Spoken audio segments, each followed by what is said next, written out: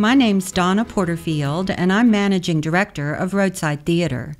In 2011, veteran roadside member Ron Short came to me with an interesting proposal to expand and deepen and establish local reenactment of life on the Daniel Boone Wilderness Trail. His intent was to broaden the reenactment's perspective and help people to understand not just the uh, European role, but the African role, uh, the native role, how all of those different people lived and existed together, and that you know helped to shape uh, the country as we realize it today.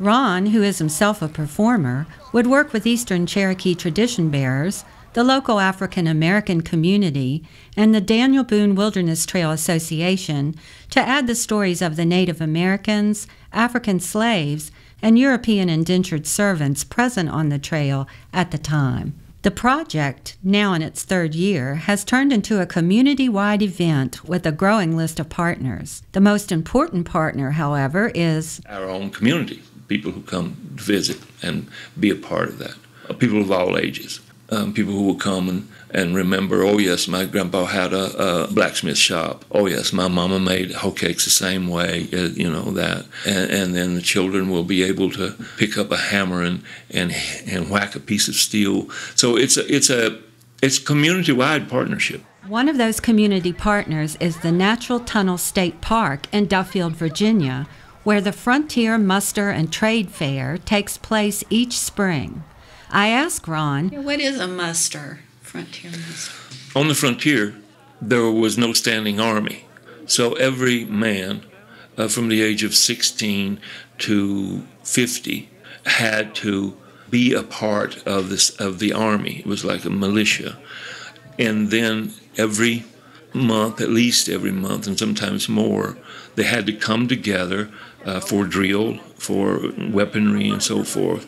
That was what a muster was. That, that, was the mustering of the men to come. They had to supply their own uh, weaponry, they had to supply their own food, they had to supply everything.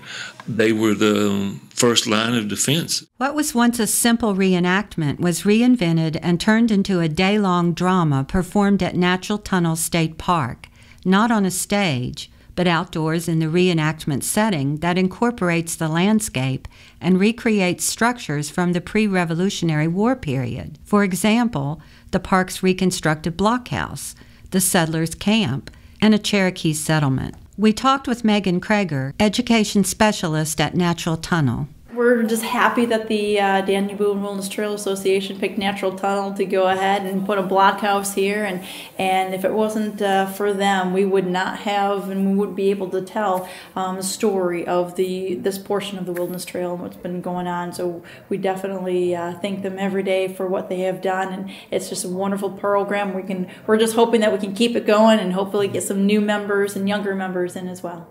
The fair is already having an impact on the community and the performers themselves. We met up with Lynette Jones, an African American performer, who told us why she chose to participate and how the project has changed her idea of life on the frontier. I was learning it for the first time myself. I was just floored by the fact that, that the Africans were trusted to go ahead to clear land, build houses and uh, barns, and and I was just floored because again, that's not a part of history that we often are told in the books, you know, or that anybody has recorded. So that was fascinating for me, learning for the first time myself as well. They didn't come over as slaves; they came over as servants, and, and in the colony, James Colony and then they found out all the work they could get from him, and guess what they did? That's right, they made him slaves. We was a long way from Jamestown, but we've been here every step of the way, whether they tell you or not. There is very, very little representation of Africans on the frontier. You th- when you, as soon as you think frontier, I mean, I guess most people see Fess Parker on down Boone. You know, as soon as you say the word frontier, uh, there is an envisioning of buckskin men, so, but there were there were black women. Uh, there were black men. Uh, they were encountering uh, Native Americans of, of, of so many tribes that have long vanished, that are gone now, uh, but they were here. They they were part of that story. Joan Short, president of the Daniel Boone Wilderness Trail Association, shared how her experiences as a teacher motivate her to work toward popularizing local history. Well, I taught for 32 years in public school system in Big Stone Gap. And one of the things I noticed about the curriculum is that the history of minorities in this area is uh, often overlooked. I had a lot of students who couldn't find their own story in the curriculum that we were teaching. And also, I've always been passionate about local history and Appalachian history. And I realized my students didn't, did not identify themselves that way because they had no way to learn what that history was. And um, this was such a melting pot uh, before Lewis and Clark even went out to the West. Roadside embraced the Daniel Boone Wilderness Trail project as part of our ongoing exploration of new forms of American theater that aim for the highest artistic quality, welcome an entire community, and help communities develop their own futures. If you are a living representation of that person you're talking about or that period you're talking about, people grasp it in so many dimensions. They can see it, they can smell the smoke, they can taste the food, they can hear a dialogue, uh, uh, they can hear the music, and so uh, you're learning with all the senses, not just the intellectual part.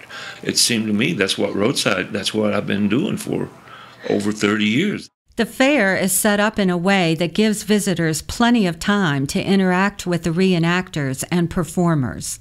They do Yohovsky no Uh, in English, that's teacher and storyteller. So I went through my naming ceremony many years ago on the Oconaluftee River on the reservation. This is Mark Fincham, a Cherokee reenactor who talked about Cherokee life and culture during this year's fair.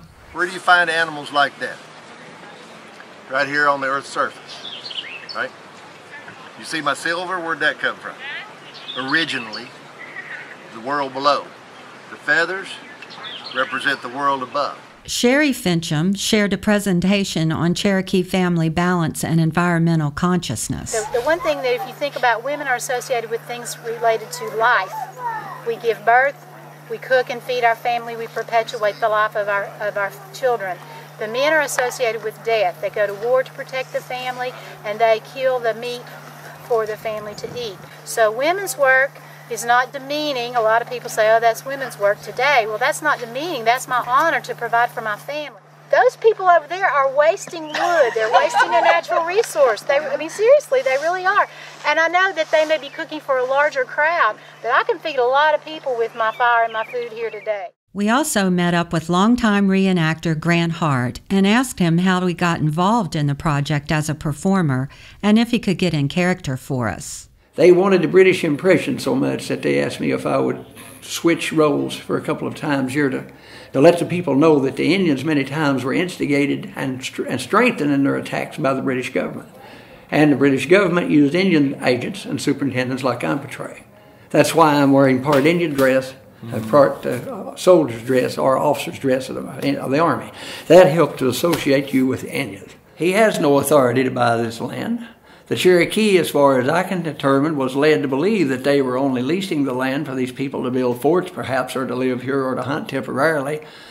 I'm not sure of all of this because I was not present, but one thing I do know I have a map that I showed these good people here today that shows where the Cherokee lands are. They're settled right on it.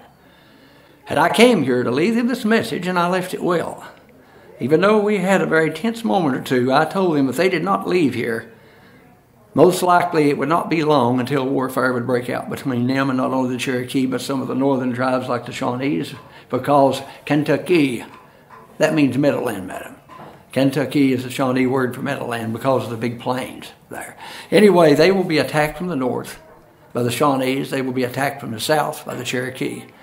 They will find their lives very difficult to sustain any length of time here. that's why I came here.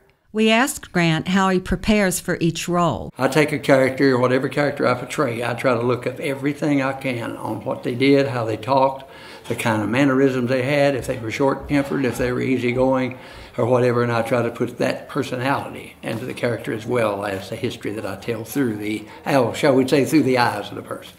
Organizers and community members are striving to make the Frontier Muster and Trade Fair a part of culturally based tourism activities included in a Central Appalachian community rebuilding strategy. Our interviewees stress the importance of history preservation. And especially for kids who live in an area that where negative stereotypes uh, abound, uh, they need to know how proud they need to be of this as the stepping off place because you had to get through the gap in the Cumberland Mountains Absolutely. to I agree. to go to Kentucky. The blockhouse, for the length of time it's been here and for the people that participate, I think they've done an amazing job in that length of time of getting uh, people that know history as well as they do and also uh, having the enthusiasm of the community to come out and to make it work. It takes a lot of work to do something like this and it takes dedicated people to do it.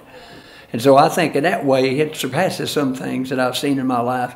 I've seen places start out that looked like it was really going to be a mecca and the way it was handled there it completely fold just because of the way the uh, politics, as it were, was administered there with how it was run and everything.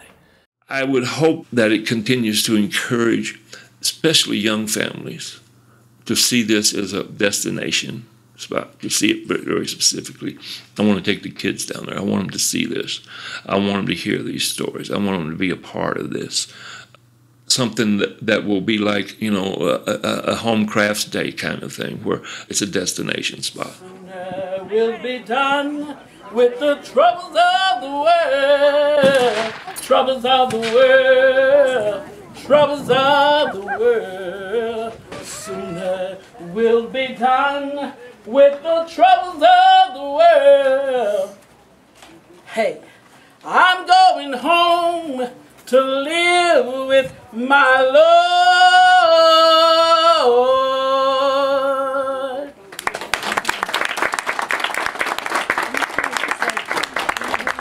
Thank you for listening. For more information about the Daniel Boone Wilderness Trail, visit danielboonetrail.com.